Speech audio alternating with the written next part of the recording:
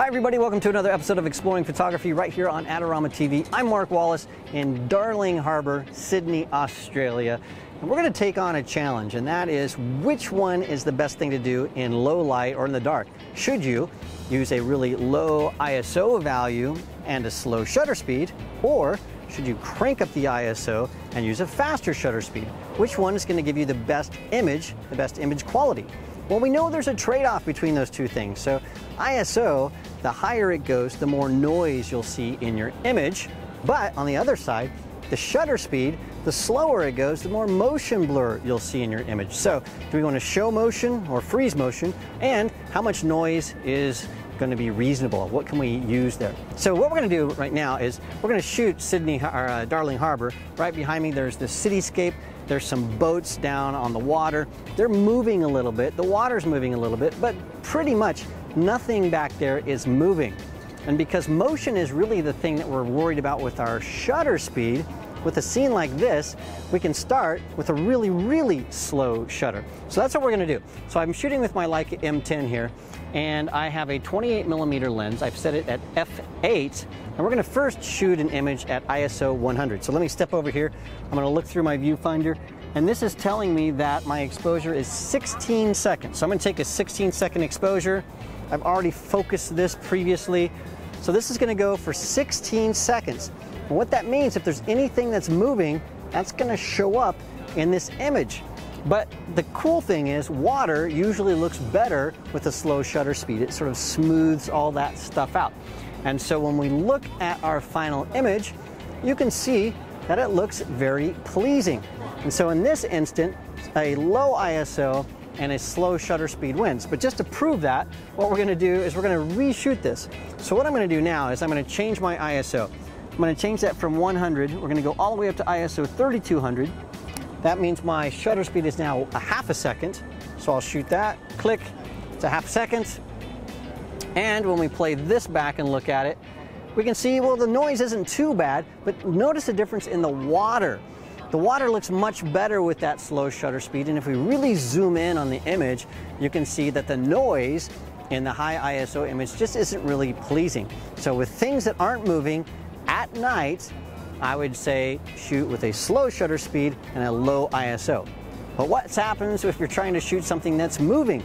Maybe you're shooting along the street or you're trying to shoot something like cars or whatever, and you want to freeze that motion. Well then, that's a totally different story. So let's do that next. We've seen what happens when everything is still, motionless. We got our camera on a tripod, the buildings weren't moving. The only thing that was really moving in the last picture was the water and the boat, just a little bit but we were able to take our ISO way down and use a long shutter speed. But now I'm on Cockle Bay Wharf, there's people walking around, there's this really cool nightlife. I wanna take a few pictures of the people and the scenes here, and I'm gonna do that without a tripod and without a flash.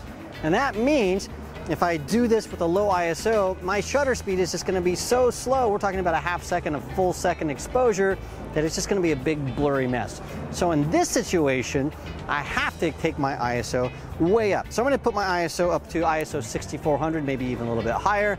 I'm shooting at a wide open aperture of f2 with a 35 millimeter lens.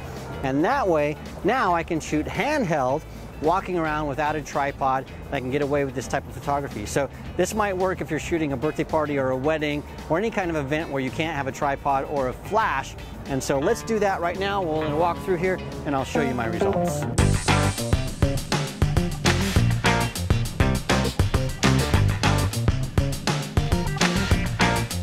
the glory of high ISO is that you can shoot handheld with scenes like this. So I'm shooting at f2 and I don't have a tripod, but I can still capture the scene with the Ferris wheel and all the boats and everything. And at 6400, that is a 60th of a second exposure, which is totally fine shooting handheld. You know, with a scene like this right here, I can shoot that because it's emitting light with an ISO of around, oh, I'm gonna do 800, maybe 1,000, and we'll see how that works.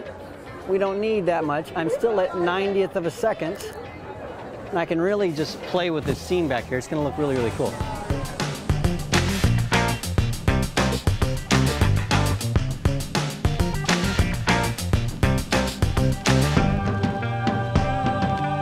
Did we learn? Well, we learned that if we're shooting something that's not moving, like a building or a mountain or maybe even the ocean, and the camera is on a tripod, we can use a very low ISO value and then let that shutter just hang for 20, 30 seconds or even a few minutes. But if we're shooting something handheld, we're walking around in low light and we don't have a flash, what we need to do is we need to open up our aperture to let in a lot of light and boost the ISO to something like 6400, 3200, or even higher than that.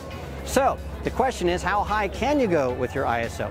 Well, the good news is that most newer cameras handle high ISO values very well. So it's not like really grainy, noisy nastiness that we used to get just a few years ago. Now we can shoot at ISO 6400 or 12800 and it's totally acceptable. But it really depends on the camera and how old it is. So do some experiments with your camera.